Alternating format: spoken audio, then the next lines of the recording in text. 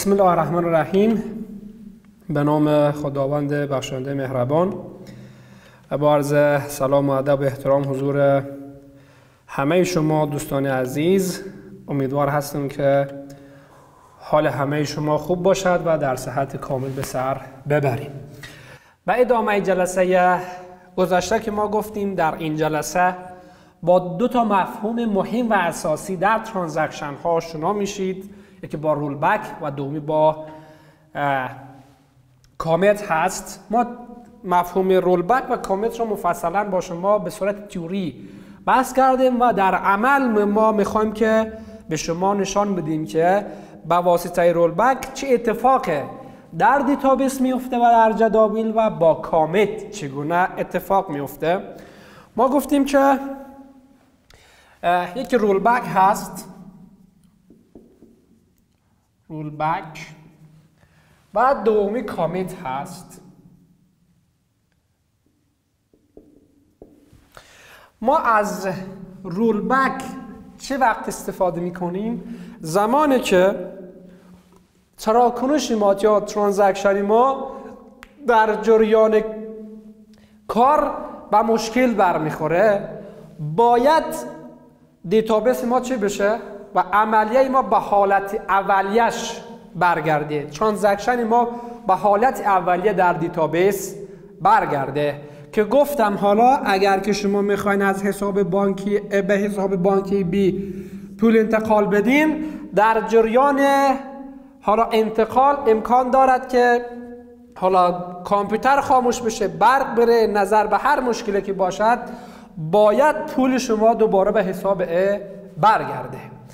ولی در کامت شما چیکار می‌کنین؟ به عنوان استفاده کننده و به عنوان یوزر وقتی که از حساب A به حساب B پول انتقال پیدا کرد و صاحب حساب B در واقع تایید کرد که پول در حسابش وارد شده و در حسابش آمده این چی میشه؟ commit میشه و این دوباره به هیچ عنوان به database یا به حساب بانکی بر نمیگرده که ما می‌خوایم عملی همین کار انجام بدیم. وقتی شما می‌خواین که در database تان کار انجام بدین شما باید شروع کنین. چیکار کنین؟ begin کنین. شروع کنین.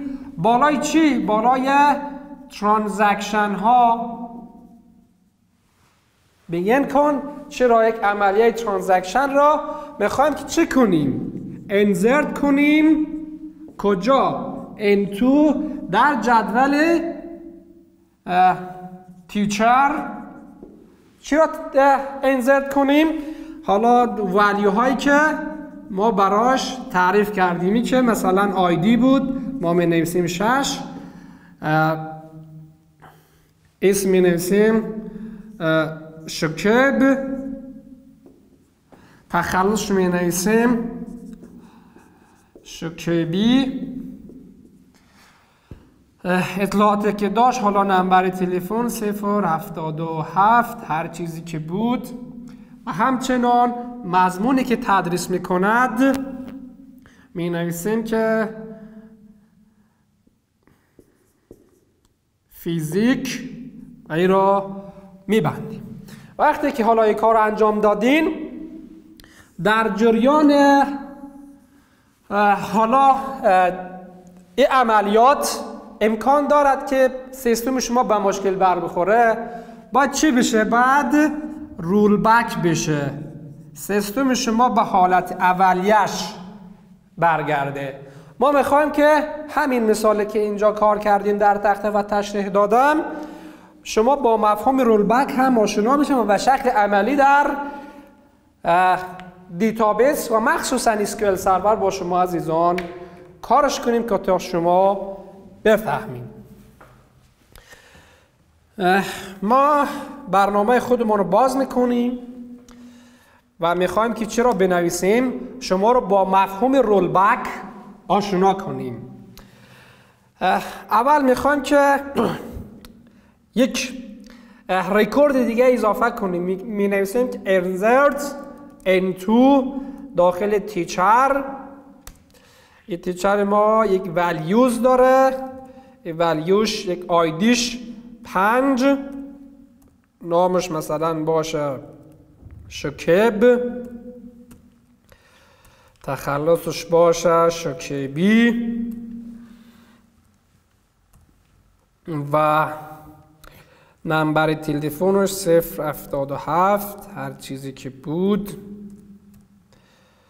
و مضمونی که درس میده فیزیک باشه. و این رو ما میبندیم. حالا ما این رو انتخاب کنیم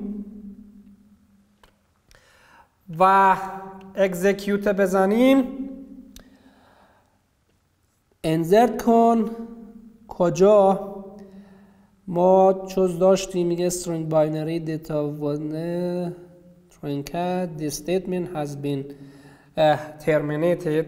حالا برای اینکه این اشتباه نیفته ما از این یک کاپی می‌گیریم اینجا انزرت کردیم. یک کاپیش می‌گیریم و اینجا پستش می‌کنیم. فقط آیدیش رو تغییر میدیم به هشت. ما انتخابش می‌کنیم.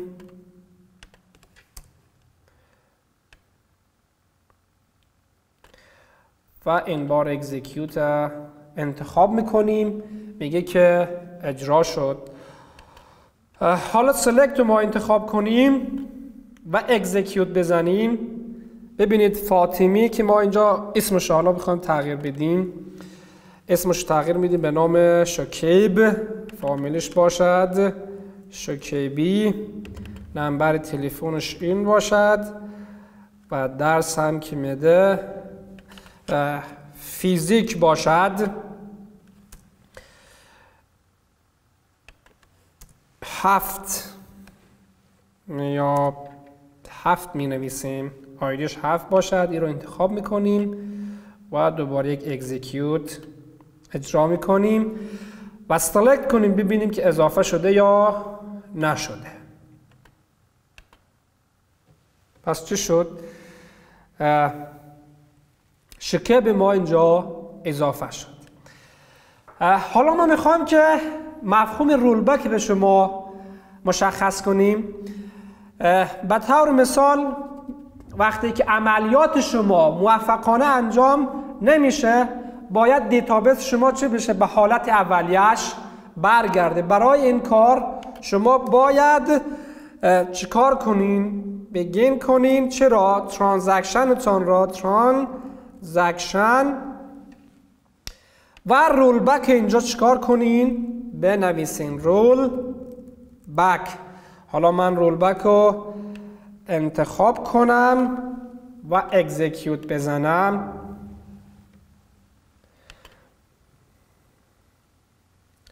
میگه که رول بک ترانزکشن has not corresponding begin transaction.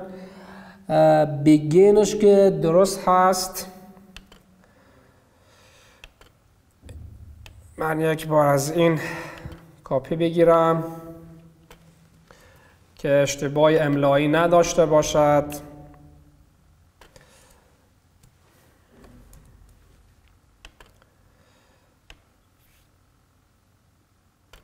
حالا اجراش کنیم. میگه که شما موفقانه این کار رو انجام دادید. حالا اگر که من سلکت بزنم و اکزیکیوت یک بار دیگه من رول بک رو کلیک کنم. و این بار اکزیکیوت بزنم.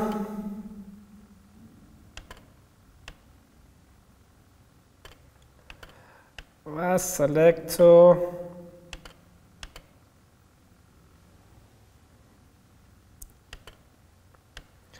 رول بک رو ما کلیک می‌کنیم انتخاب می‌کنیم و اکزیکیوت یک بار اجرا شد. حالا ما می‌خوایم که یک تیبل دیگه اضافه کنیم چون که چند بار کار انجام دادیم. برنامه ما این کار انجام نمیده یک کاپی می‌گیریم. انزرت کن. اول بیگن ترانزکشن. اجرا بشه و اینجا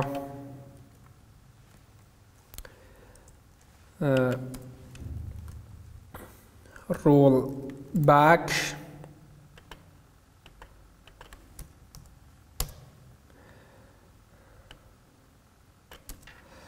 در وهله اولی رو می‌خوام که چند باشه؟ آیدیش ده باشه. همین آیدیش باشه کفایت می‌کنه و اینو هم پاک می‌کنیم و اجراش کنیم تا که شما عزیزان ببینین. اینجا اکزیکیوت میگه شما موفقانه این کار انجام دادین. حالا اگر که ما سلکت کنیم این جدول را کجا سلکت کردیم یا نکردیم؟ اینجا هست. من یک فاصله بدم که شما کد را بهتر ببینین. بگیم select کن. database ما اینجا ببینید نرگیس که آیدیش ده هست. اضافه شده. ما می‌خوایم که به حالت اولیش برگرده چیکار می‌کنیم؟ begin می‌کنیم. transaction را. transaction مطابق با همین چیزی که ما اینجا کار کردیم transaction کن. چی را؟ رول بک. و اینو ما اجراش کنیم. میگه که ترانزکشن حالا همه شما اجرا کنیم. که پرایمری کیش اینجا. اجرا نمیشه. دوباره اجراش کنیم.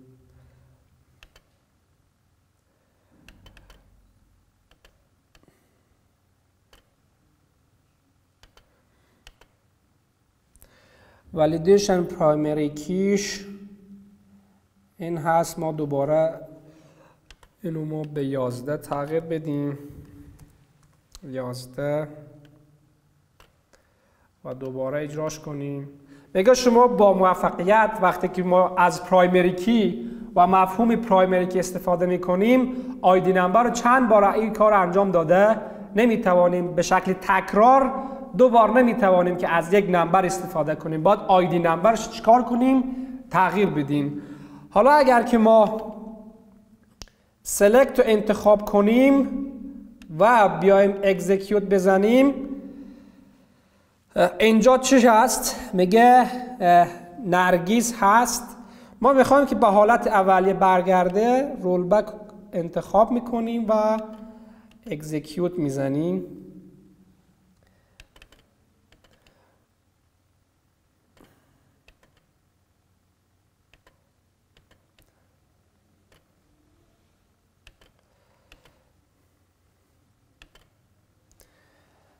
Transaction has not corresponding begin transaction ما کپی بگیریم اینجا که اشتباه نشده باشد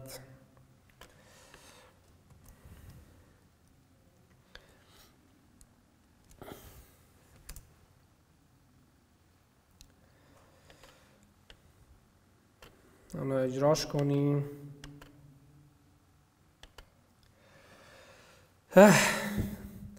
رول بک ما حالا اینجا درست کار نمیده این جلسه کفایت می‌کنه و در جلسه آینده انشالله رول بک و کامنت رو با همدیگر کار می‌کنیم شاد و موفق و پیروز کامگار باشین و روز بر همه شما خوش